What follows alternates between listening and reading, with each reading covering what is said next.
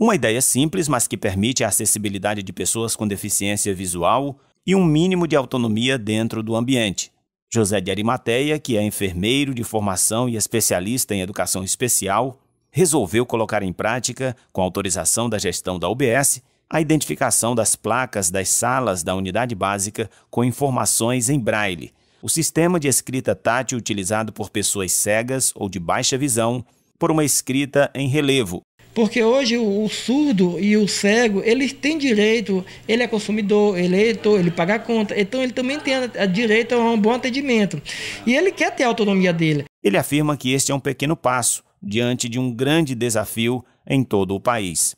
São raros os lugares com identificação parecida. A UBS da Vila Paraíso é o primeiro espaço público com identificação em braille e partiu de uma iniciativa individual. Segundo Arimateia, até mesmo pessoas qualificadas para atender as pessoas com deficiência ou de baixa visão são difíceis. Daí se vê o tamanho do desafio que se tem pela frente para a inclusão desse público. Por isso que eu defendo que o município de Caxias é, a, a, abrace essa causa e, e, treine mais profissional, que possa, por exemplo, estar tá, é, me usando né, como instrumento de formação para demais profissionais. Né?